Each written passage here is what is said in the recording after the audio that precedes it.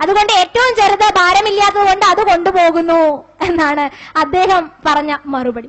നോക്കൂ വാസ്തവത്തിൽ അതാണോ നമ്മളുടെ ധർമ്മം നമ്മളോട് പറയുന്നത്. എന്തിന്റെ പ്രതീകമായിട്ടാണ്? നമ്മുടെ ശരീരത്തിന്റെ പ്രതീകമാണ് ആ നാളികേരം എന്ന് പറയുന്നത് അതിലുള്ള നെയ്യ് നമ്മളുടെ പരമാത്മാ സ്വരൂപത്തിലുള്ള ജീവാത്മാ സ്വരൂപത്തിലുള്ള നമ്മളെ പരമാത്മാവിലേക്ക് ഉയർത്തുന്ന ഒന്ന് തന്നെയാണ്. അത് ഭഗവാൻ അഭിഷേകം ചെയ്യുന്നു. ബാക്കിയുള്ള ശരീരം എരിഞ്ഞു തീരുന്നു എന്നുള്ള തത്വത്തിലേക്ക് നമ്മൾ ഉയരുമ്പോൾ മാത്രമാണ് തത്വമസി എന്നുള്ള തത്വത്തിലേക്ക് പുരോഗമിക്കാൻ നമുക്ക് സാധിക്കുന്നത്. അപ്പൊ ഇത്തരത്തിലുള്ള കാര്യങ്ങൾ അറിയാതെ ക്ഷയം എന്നുള്ള അവസ്ഥയിൽ കിടക്കുന്ന നമ്മളെ മാറ്റുവാൻ ക്ഷേത്രത്തിനല്ലാതെ മറ്റൊരുത്തർക്കും കഴിയില്ല. നോക്കൂ ഇന്ന് നടപാടിക്കൊണ്ടിരിക്കുന്ന കാര്യങ്ങൾ വളരെ ബുദ്ധിമുട്ടി കഷ്ടപ്പാടുകൾ സഹിച്ച ഒരു ക്ഷേത്രത്തിൽ ദർശനത്തിനായിട്ട് നമ്മൾ പോവുകയാണ്. അവിടെ പോയപ്പോൾ ക്യൂലൊക്കെ നിന്നു. പക്ഷേ എന്തോ കാരണവശാൽ അത് അടയടച്ചു. നമുക്ക് ദർശനം കിട്ടിയില്ല. അപ്പൊ ദർശനം കിട്ടാതെ ഇപ്പൊ ഗുരുവായൂരിനെ ഉദാഹരണമായിട്ട് എടുത്തു. ഇവിടുന്ന് യാത്ര ചെയ്ത് വളരെ ബുദ്ധിമുട്ടി ഗുരുവായൂരപ്പനെ ഒരു നോക്ക് കാണുവാൻ വേണ്ടി ചെന്ന നമ്മൾ ഓരോരുത്തരും ഈശ്വരനെ കാണാതെ അവിടുന്ന് മടങ്ങുമ്പോൾ വളരെ വിഷാദപൂർവം വിഷമിച്ചുകൊണ്ട് ഇങ്ങനെ നിൽക്കുകയാണ്. അപ്പൊ ഒരാൾ നമ്മളോട് ചോദിക്കുകയാണ് എന്താണ് നിങ്ങളുടെ മുഖത്ത് ഒരു വിഷമം? അപ്പൊ നമ്മൾ പറയുകയാണ് കഷ്ടപ്പെട്ടിട്ടാണ് ഇവിടെ എത്തിയത്. പക്ഷേ ഭഗവാനെ കാണാൻ സാധിച്ചില്ല. അയ്യോ എന്തു പറ്റി? എന്ന് ചോദിച്ചപ്പോൾ പറയുകയാണ് നടയടച്ചു അതിനായി ഭഗവാനെ കാണാൻ സാധിച്ചില്ല. നാരായണീയത്തിൽ ഭട്ടതിരിപ്പാട് നമ്മളോട് പറയണു? ഏവം ദുർലഭ്യ വസ്തും അതിസുലഭതയാ ഹസ്തലഭ്യേയതന്യൽ. തന്വാവാജാദിയാവ ഭജതി ഭജന ക്ഷുത്രദൈവ സ്ഫുടേയം. ക്ഷുദ്രദൈവ വിഡ്ഢികളാണ് സംസാരിക്കുന്നത് ഇത്തരത്തിൽ എന്ന് ഭട്ടതിരിപ്പാട് ചൂണ്ടിക്കാണിക്കുന്നു. കാരണം നടയടച്ചു ഭഗവാനെ കണ്ടില്ല. ക്ഷേത്രത്തിലെ വിഗ്രഹത്തിൽ മാത്രം ഒതുങ്ങുന്ന ദേവൻ അല്ലെങ്കിൽ ആകാശങ്ങൾക്കപ്പുറത്ത് എവിടെയോ ഇരിക്കുന്ന ദേവനായിട്ടേ നമുക്ക് ഈശ്വരനെ മനസ്സിലായിട്ടുള്ളൂ എന്നാണ് പറയുന്നത്. നോക്കൂ ഹസ്തലഭ്യേയതന്യൽ നിങ്ങളുടെ കൈകൾ രണ്ടും ഉരച്ചു ചൂടാക്കി നോക്കൂ. അവിടെയുണ്ട് ഭഗവാൻ. പക്ഷെ ഉരച്ചു ചൂടാക്കി നോക്കുമ്പോൾ നമുക്ക് കുറെ വരകളല്ലാതെ ഒന്നും കാണാൻ കഴിയില്ലെങ്കിൽ ഈ പറഞ്ഞത് നമ്മളുടെ ഉള്ളിലേക്ക് നമ്മൾ സ്വീകരിച്ചിട്ടില്ല എന്ന് വേണം പറയാനായിട്ട്. അപ്പൊ നമ്മളുടെ ഉള്ളിൽ ഹൃദയവാസിയായി ഭഗവാനുണ്ട്. പിന്നെ എന്തിനാ അമ്പലത്തിൽ പോണേ? പിന്നെ എന്തിനാ ക്ഷേത്രത്തിൽ പോണേ? എന്നുള്ളൊരു ചോദ്യം വരുന്നുവെങ്കിൽ നമ്മൾ മനസ്സിലാക്കേണ്ടത് അടുത്തുള്ളൊരു തത്വമാണ്. വയലാണ് ക്ഷേത്രം എന്ന് പറഞ്ഞുവല്ലോ. മാർഗമാണ് ഈശ്വര സാക്ഷാത്കാരത്തിന് എങ്കിൽ നമ്മളുടെ ഉള്ളിൽ ഇരിക്കുന്ന ബിംബത്തിന്റെ പ്രതിബിംബമാണ് അകത്തിരിക്കുന്നത്. അല്ലെങ്കിൽ അകത്തിരിക്കുന്ന ബിംബ പ്രതിബിംബമാണ് നമ്മളുടെ ഉള്ളിലിരിക്കുന്നത് എന്നുള്ള ആ വലിയ തത്വം സാക്ഷാത്കരിക്കാനാണ് ക്ഷേത്രം എന്നുള്ള സംഹിത. അപ്പൊ ക്ഷേത്ര ദർശനത്തിൽ കൂടി ഈശ്വര സാക്ഷാത്കാരം വിഗ്രഹാരാധനയിലൂടെ ഈശ്വര സാക്ഷാത്കാരം എന്ന് വരികിൽ വാസ്തവത്തിൽ അതൊരു ഉപകരണമോ അല്ലെങ്കിൽ ശരീരം പോലൊരു മാധ്യമമോ ആണ്. അതിനുള്ളിൽ ഈശ്വരനെ ദർശിക്കൂ. ആ ഈശ്വരൻ നമ്മളുടെ ഉള്ളിലുണ്ട് എന്ന് നമ്മൾ ദർശിക്കുമ്പോൾ അത് വയലായിട്ട് മാറും.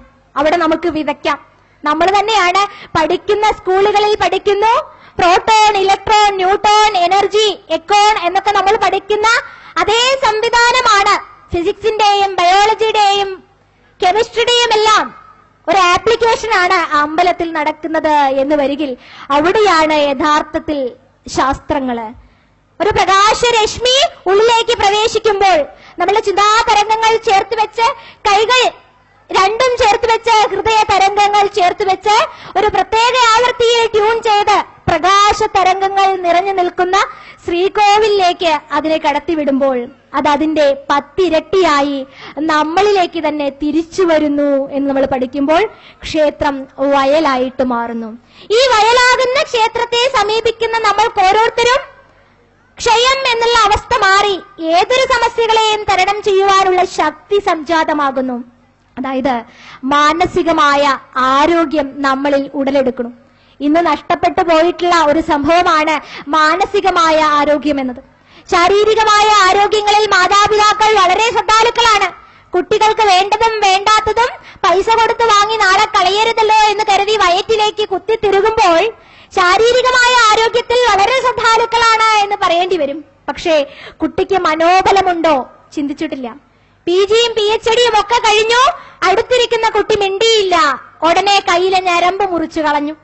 അച്ഛനും അമ്മയും വണ്ടി വാങ്ങിച്ചു തന്നില്ല മൊബൈൽ വാങ്ങിച്ചു തന്നില്ല ആത്മഹത്യ ചെയ്തു. ടെക്നിക്കൽ ഗ്രാജുവേഷൻ ഒരു പരീക്ഷയിൽ തോറ്റുപോയി ഉടനെ ആത്മഹത്യ ചെയ്തു. പേപ്പറിൽ നിരവധി അനവധി സംഭവങ്ങൾ നമുക്ക് കാണാൻ സാധിക്കും. പക്ഷെ ഇതാണോ നമ്മൾ ഇതൊക്കെ കൊണ്ട് പഠിക്കുന്നത്? ഇതാണോ നമ്മളുടെ ഉത്സവ തത്വം അല്ല. അതിനെ മനനം ചെയ്ത് നമ്മളുടെ ജീവിതത്തിൽ മാറ്റം വരുത്തി ഇന്നുള്ള അവസ്ഥയിൽ നിന്നും ഈശ്വരനിലേക്കുള്ള പുരോഗമനമാവണ്ടേ ജീവിതം? അതിനു വേണ്ടി ഒരു മാർഗമായി ക്ഷേത്രത്തെ സമീപിക്കുമ്പോൾ ക്ഷേത്രം വയലാണ്. ഇനി മൂന്നാമത്തെയും അവസാനത്തേതുമായ ഒരു തത്വമാണ് ക്ഷേത്രം എന്നത് നമ്മളുടെ ശരീരമാണ് എന്ന് പറയുന്നു. അതുകൊണ്ട് തന്നെ ഭഗവാൻ ശ്രീകൃഷ്ണൻ ഗീതയിൽ നമ്മളോട് പറഞ്ഞിട്ടുണ്ട് ഇതം ശരീരം കൗന്ദേയ ക്ഷേത്രമെത്തി വിധീയതേ. അല്ലയോ അർജുന? നിന്റെ ശരീരമാണ് ക്ഷേത്രം. ആ ശരീരത്തിൽ കൊടുകൊള്ളുന്ന ജീവനാണ് ഈശ്വരൻ എന്ന്. ആ ഈശ്വരനെയാണ് നീ ക്ഷേത്ര ദർശനത്തിലൂടെ ഊർജസ്വലനാക്കി പരമാത്മാവുമായിട്ട് സംയോജിക്കേണ്ടത് അഭേദ്യമായ ബന്ധമുണ്ടാക്കേണ്ടത് എന്ന് ഭഗവാൻ പറഞ്ഞപ്പോൾ ക്ഷേത്രം എന്ന് പറയുന്നത് ആദ്യത്തെ ആചാര്യ തപസ്സിനെ ഓർമ്മിപ്പിക്കുന്നു. ആചാര്യൻ അനുഷ്ഠിക്കുന്ന പരമ തപസ്സാണ് ക്ഷേത്രത്തിന്റെ പ്രാധാന്യത്തെ ഉജ്ജ്വലിപ്പിക്കുന്നത് അതിന്റെ ചൈതന്യത്തെ നിലനിർത്തുന്നത് എന്ന് വരികിൽ അവിടെ പൂജിക്കുന്ന പൂജാരി മാത്രമല്ല തൊഴുന്ന ഭക്തജനങ്ങളും. അവിടെയുള്ള ഭക്തജനങ്ങളെ കൂടാതെ ഒരിക്കലും ക്ഷേത്രം നമ്മളെ ക്ഷയത്തിൽ നിന്ന് രക്ഷിക്കുകയില്ല. ക്ഷേത്രം ഉണ്ടാവണമെങ്കിൽ ക്ഷേത്ര ചൈതന്യം വർദ്ധിക്കണമെങ്കിൽ പൂജാരിയും വേണം പൂജകൾ വേണം നിത്യനിധാന കർമ്മങ്ങൾ വേണം ഉത്സവം വേണം ഭക്തജനങ്ങൾ ഒരു അനിവാര്യമായ ഘടകമാണ് എന്ന് വരുന്നു. ക്ഷേത്രത്തിലേക്ക് പുരോഗമിക്കുമ്പോൾ നമ്മൾ ശ്രദ്ധിക്കേണ്ട ഒരു കാര്യമുണ്ട്. പഞ്ചശുദ്ധി പരിപാലനം. അഞ്ച് ശുദ്ധികളാണ് അവിടെ ശ്രദ്ധിക്കേണ്ടത്. അതിലെ ആദ്യ ശുദ്ധി നമ്മളോട് പറയുന്നു ശരീരശുദ്ധി അനിവാര്യമാണ്. കുളിച്ചു കുറിയിട്ടത് കൊണ്ട് മാത്രം ശരീരശുദ്ധിയായോ എന്ന് നമ്മൾ പരിശോധിക്കേണ്ടിയിരിക്കുന്നു. കാരണം മണ്ഡലമാസം പോലുള്ള വേളകളിൽ അന്തരീക്ഷം കൂടി അതിലൊരു പങ്ക് വഹിക്കുന്നുണ്ട്. അതായത് മണ്ഡലം നാൽപ്പത്തി ഒന്ന് എന്ന് നമ്മൾ പഠിച്ചിട്ടുണ്ട്. നാൽപ്പത്തിരണ്ടല്ല നാൽപ്പതല്ല നാൽപ്പത്തി ഒന്ന് എങ്ങനെയാ മണ്ഡലമാസം നാൽപ്പത്തി ഒന്നായത് അതിന് പിന്നിലുള്ള തത്വം ഇതാണ് ശാസ്ത്രീയത ഇതാണ്. സൂര്യനെ അധികരിച്ച് ജീവിക്കുന്ന കലണ്ടറിൽ ഒരു വർഷം നമ്മളുടെ ഒരു വർഷം എന്ന് പറയണത് മുന്നൂറ്റി അറുപത്തി അഞ്ച് ദിവസങ്ങളാണ്. സൂര്യൻ മാത്രമല്ല ഉള്ളത് ചന്ദ്രൻ എന്നൊരാൾ അവിടെയുണ്ട്. സൂര്യപ്രകാശം പ്രതിഫലിച്ച് നമ്മളുടെ മനസ്സിനെ നിർമ്മലതയിൽ എത്തിക്കുന്ന ചന്ദ്രൻ. ചന്ദ്രന്റെ ഒരു വർഷം എന്ന് പറയണത് ഒരു മാസത്തിലെ ഇരുപത്തിയേഴ് നക്ഷത്രങ്ങളുമായി ബന്ധപ്പെട്ട് കിടക്കുന്ന ചന്ദ്രമാസം. പരിശോധിച്ചാൽ ഇരുപത്തിയേഴ് ഗുണം ഒരു വർഷം പന്ത്രണ്ട് മാസം. അത് ഗുണിച്ചെടുക്കുമ്പോൾ മുന്നൂറ്റി ഇരുപത്തി നാല് എന്ന സംഖ്യ ലഭിക്കും. അപ്പൊ ചന്ദ്രന്റെയും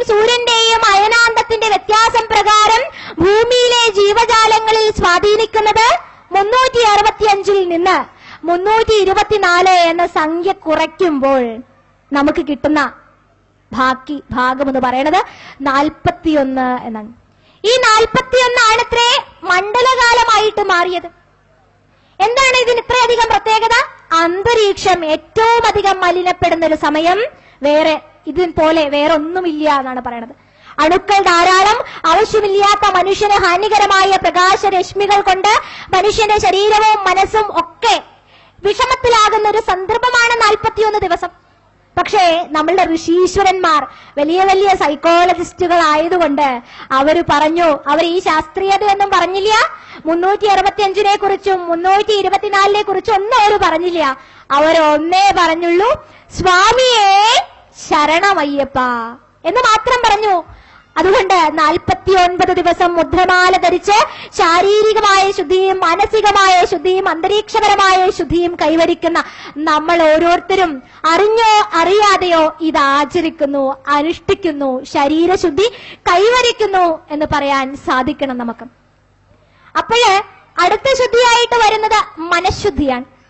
മനുഷ്യന്റെ മനസ്സിനെ അതിന്റെ ചപലതകളെ വർണിക്കുവാൻ വേണ്ടിയിട്ട് രാമായണത്തിൽ മുഴുവൻ വാനര സങ്കല്പം കൊണ്ടുവന്നിട്ടുണ്ട് നമ്മളെ ഋഷീശ്വരന്മാര് ഋഷി പരമ്പര. ഇപ്പൊ നമ്മൾ വിചാരിക്കും ശ്രീരാമൻ എങ്ങനെയാണ് കുരങ്ങന്മാരോട് സംവദിച്ചത്? രാമായണത്തിൽ എപ്രകാരമാണ് കുരങ്ങന്മാർ വന്നത് എന്ന് ചോദിച്ചാൽ നമ്മൾ കാണുന്ന കാഴ്ച ബംഗ്ലാവിലെ കുരങ്ങനല്ല രാമായണത്തിലെ വാനര സംഘം എന്ന് പറയണത്. അവർ മനുഷ്യ മനസ്സിന്റെ ചപലതയെ പ്രതിനിധാനം ചെയ്യുന്ന ശക്തികളാണ്. മനുഷ്യന്റെ മനസ്സ് എന്ന് പറയുന്നത് കുരങ്ങിനെ പോലെയാണ്. മരം ചാടുന്നതും വെളുത്തതും ഒരു ഒരിടത്ത് കുരങ്ങനെ ഇരിക്കില്ല എന്നാണ് പറയുന്നത് അതുപോലുള്ള ചപലമായ മനസ്സിനെ നിയന്ത്രിച്ചുകൊണ്ട് വേണം അത്രേ ക്ഷേത്ര ദർശനം ശരീരശുദ്ധി മനഃശുദ്ധി. ഇനി അടുത്ത ശുദ്ധിയാണ് അന്തരീക്ഷ ശുദ്ധി എന്ന് പറയുന്നത് ക്ഷേത്രത്തിലെ എന്നത്തെയും ചർച്ചാ വിഷയമായ ഉത്സവത്തോടനുബന്ധിച്ചും അല്ലാതെയും നടത്തപ്പെടുന്ന ആഘോഷങ്ങളോട് അനുബന്ധിച്ച് നടത്തപ്പെടുന്ന സംഗീതം. പാട്ട് വെക്കുക എന്നുള്ളൊരു പ്രത്യേകത എന്നും ചർച്ച ചെയ്യപ്പെടുന്നു എന്നുള്ളത്. ക്ഷേത്രം ചെറുതാണെങ്കിലും അതിനേക്കാൾ വലിയ കോളാമ്പി ഉണ്ടാകും. അതിലൂടെ മറ്റുള്ളവർക്ക് ഉപദ്രവമാകുന്ന രീതിയിൽ ക്ഷേത്രത്തെ നമ്മൾ സമീപിച്ചാൽ അത് ആധ്യാത്മികതയല്ല. എല്ലാവർക്കും വളരെ വിഷമമാണ്. പഠിക്കുവാൻ സാധിക്കുന്നില്ല ഒരു കാര്യം സംസാരിക്കുവാൻ സാധിക്കുന്നില്ല. ക്ഷേത്രത്തിലെ പാട്ടുകൾ അത്രയും ഉന്ന ഉന്നതിയിലെ ഉച്ചസ്ഥായിയിൽ വെച്ചുകൊണ്ട് മനുഷ്യനെ ഉപദ്രവിക്കുന്നു എന്ന് പറയുമ്പോഴും ഒരു ഈശ്വരനും പറഞ്ഞിട്ടില്ല. ഇത്ര മണിക്ക് ഇത്ര നേരം ഇത്ര ഉച്ചത്തിൽ എനിക്ക് പാട്ട് വെക്കണം. എന്നാലേ ഞാൻ പ്രസാദിക്കൂ എന്ന്. അപ്പൊ മനുഷ്യൻ ആധ്യാത്മികതയെ മറ്റുള്ളവരെ ഉപദ്രവിക്കുവാനുള്ള ഉപകരണമാക്കി മാറ്റുമ്പോൾ അത് ഈശ്വരതയായിട്ട് കാണാനായിട്ട് സാധിക്കില്ല. ക്ഷേത്ര സങ്കല്പത്തിൽ അത് പെടുകയില്ല എന്ന് നമുക്ക് പറയാൻ സാധിക്കണം. അപ്പൊ അത് എന്ന് പറയുന്നത് സംഗീതം നിർമ്മലമായ ഒരു സംഗതിയാണ്. ഔഷധമാണ് ദശധ്യാന സമം ഗീതം. പത്ത് ധ്യാനത്തിന് പത്ത് മെഡി മെഡിറ്റേഷന് തുല്യമാണത്രേ ഒരു സംഗീതം എന്ന് പറയണത്. അപ്പൊ എങ്ങനെയുള്ള പാട്ടുകളാവണം? മനസ്സിന് ഇമ്പമുള്ളത് ഭക്തി തരുന്നത് ആ സങ്കല്പത്തിന് യോജിക്കും വിധം എന്ന് പറയുമ്പോഴാണ് അത് ആധ്യാത്മികത. അവനവൻ ആത്മസുഖത്തിനായി ആചരിക്കുന്നത് അപരന സുഖത്തിനായി വരേണമേ എന്ന് ഗുരുദേവൻ പറഞ്ഞപ്പോൾ അപരനെ സുഖിപ്പിച്ചില്ലെങ്കിൽ കൂടി അവരെ ഉപദ്രവിക്കാതിരിക്കാൻ നാം ശ്രദ്ധിക്കുമ്പോൾ മാത്രമാണ് അവിടെ ഭക്തി ഉണ്ടാകുന്നത് എന്ന് ശ്രദ്ധിക്കണം. അതാണ് അന്തരീക്ഷ ശുദ്ധിയുമായിട്ട് പറയാനുള്ളത്. അടുത്ത ശുദ്ധിയായിട്ട് പറയുന്നത് ദ്രവ്യശുദ്ധിയാണ്. എന്താണ് ദ്രവ്യശുദ്ധി എന്ന് ചോദിച്ചാൽ ക്ഷേത്രവും ക്ഷേത്രവുമായി ബന്ധപ്പെട്ട് കിടക്കുന്ന എല്ലാ ദ്രവ്യങ്ങളിലും നമ്മൾ പാലിക്കേണ്ട ശുദ്ധി. പാവം കമ്മിറ്റി ഭാരവാഹികളെ ക്ഷേത്രത്തിൽ പോയപ്പോൾ എഴുതി വെച്ചിരിക്കുന്നു ഇവിടെ ചുമരിൽ ചന്ദനം തേക്കരുത്. ഇവിടെ പ്രസാദം വാങ്ങിച്ച് ബാക്കി പൂജാരിയുടെ മേലെ തെറിപ്പിക്കുന്നതും കണ്ടിട്ടുണ്ട്. അദ്ദേഹം തീർത്ഥം തരുമ്പോൾ അത് വാങ്ങിച്ച് സേവിച്ച് ബാക്കി വരുന്നത് ശിരസിൽ ധരിച്ച് ബാക്കി ബാക്കി ഉണ്ടെങ്കിൽ ആരും കാണാതെ പുറകെ തിരിഞ്ഞു പോകുന്ന പൂജാരിയുടെ മേലേക്കും. അങ്ങനെ വന്നാൽ അത് ക്ഷേത്ര സങ്കല്പത്തിന് വിരുദ്ധമായ ഒന്നാണ്.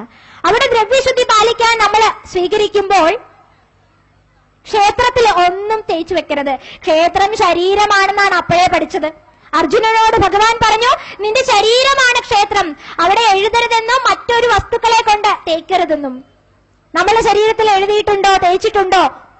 സ്പോൺസേർഡ് ബൈ അച്ഛന്റെ പേര്. അമ്മയുടെ പേര് നമ്മുടെ ശരീരത്തിൽ എഴുതിയിട്ടില്ല.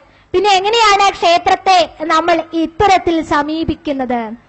ഇങ്ങനെയൊക്കെ ചിന്തിക്കുമ്പോൾ സനാതന ധർമ്മ തത്വങ്ങളിൽ നിന്നും നമ്മൾ എത്രത്തോളം മുന്നിട്ട് നിൽക്കുന്നു എത്രത്തോളം പിന്നിലാണ് ഈശ്വരീതിയിൽ നിന്ന് എന്ന് മനസ്സിലാക്കാൻ നമുക്ക് സാധിക്കുമ്പോൾ അതാണ് വലിയ വിജയം എന്ന് പറയുന്നത് അഞ്ചാമത്തെ ശുദ്ധിയായ വാക്ശുദ്ധി എന്ന് കൂടി ചർച്ച ചെയ്തിട്ട് നമ്മുടെ പ്രഭാഷണം അവസാനിപ്പിക്കാം. വാക്ശുദ്ധി എന്ന് പറയുമ്പോൾ വാഗിന്ദ്രിയങ്ങളുടെ ശുദ്ധിയാണ് വാക്ശുദ്ധി വാഗിന്ദ്രിയങ്ങൾ എത്രയാണ്? നമുക്ക് ഏകാദശ ഇന്ദ്രിയങ്ങൾ ഉണ്ട് എന്നാണ് പറയാ പഞ്ചേന്ദ്രിയങ്ങളായ കണ്ണ് കാത് മൂക്ക് നാക്ക് തൊക്ക്. ആറാമത്തെ ഇന്ദ്രിയം എന്ന് പറയപ്പെടുന്ന മനഃഷ്ടാൻ ഇന്ദ്രിയാണി എന്ന് സ്മരിക്കപ്പെടുന്ന ആറാമത്തെ ഇന്ദ്രിയം മനസ്സ്. അഞ്ചിന്ദ്രിയം പഞ്ചേന്ദ്രിയം പറഞ്ഞു. ആറാമത്തെ ഇന്ദ്രിയം മനസ്സ്. ഇനി കർമ്മേന്ദ്രിയങ്ങളായ അഞ്ചിന്ദ്രിയങ്ങൾ നമുക്കുണ്ട്. നമ്മളുടെ വാക്കുകൾ രണ്ട് കൈകൾ രണ്ട് കാലുകൾ പായു ഉപസ്ഥം രണ്ട് വിസർജനേന്ദ്രിയങ്ങൾ. കർമ്മേന്ദ്രിയങ്ങൾ അഞ്ചും പഞ്ചേന്ദ്രിയങ്ങൾ അഞ്ചും പ്ലസ് മനസ്സും കൂടിയായാൽ ഏകാദശ ഇന്ദ്രിയങ്ങളായി. ഈ ഏകാദശ ഇന്ദ്രിയങ്ങളെ ശുദ്ധീകരിക്കുമാറാകണമത്രേ ക്ഷേത്ര ദർശനം എന്ന് പറയുമ്പോൾ എവിടെയുണ്ട് ആ ശുദ്ധി? അന്ന് കണ്ണുകൊണ്ട് ക്ഷേത്ര ദർശനം നടത്തുമ്പോൾ ഈശ്വരനെ മാത്രം സ്മരിക്കുക. ഈശ്വരനെ മാത്രം കണ്ണുകൊണ്ട് കാണുക. കേൾക്കുന്നത് മുഴുവൻ ഈശ്വരന്റെ നാമസങ്കീർത്തനങ്ങളാണ്.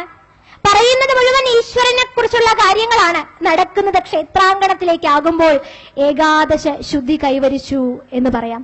അല്ലാതെ വാദിച്ചത് കൊണ്ടോ ഇങ്ങനെ പറഞ്ഞത് കൊണ്ടോ ഈശ്വരനെ നമുക്ക് കിട്ടുകയില്ല. ഈശ്വരനെ കിട്ടണമെങ്കിൽ ഏകാദശ ശുദ്ധി. അതുകൊണ്ടാണ് ഏകാദശി തുടങ്ങിയിട്ടുള്ള വ്രതങ്ങൾക്കൊക്കെ ഇത്രയും പ്രാധാന്യം. നമ്മളുടെ ഇന്നത്തെ സമൂഹത്തിലേക്ക് കണ്ണോടിക്കുമ്പോൾ ഏകാദശി എന്ന് പറയണത് അരിയില്ലാത്ത ഭക്ഷണം മാത്രം കഴിക്കുവാനുള്ള ലൈസൻസ് ആയിട്ട് മാറുമ്പോൾ അതല്ല ഏകാദശി. പരമപ്രധാനമായ വ്രതമായിട്ട് അത് മാറണമെങ്കിൽ കണ്ണുകൊണ്ടെങ്കിലും ഒരു നിയന്ത്രണം ഈശ്വരനെ മാത്രം കാണുക. കാതുകൊണ്ടെങ്കിലും ഒരു നിയന്ത്രണം ഈശ്വരനെ മാത്രം കുറിച്ചുള്ള കാര്യങ്ങൾ കേൾക്കുക. അങ്ങനെ വരുമ്പോൾ യാതൊന്നു കണ്ടതതു നാരായണ പ്രതിമ യാതൊന്നു കേൾപ്പതതു നാരായണ ശ്രുതികൾ. യാതൊന്നു ചെയ്വതതു നാരായണർച്ചനകൾ യാതൊന്നതൊക്കെ ഹരിനാരായണായ നമാം. ഈ ഒരു തത്വത്തിലേക്ക് പുരോഗമിക്കുമ്പോൾ അത് വാക്ശുദ്ധിയാണ് എന്ന് പറയേണ്ടി വരും.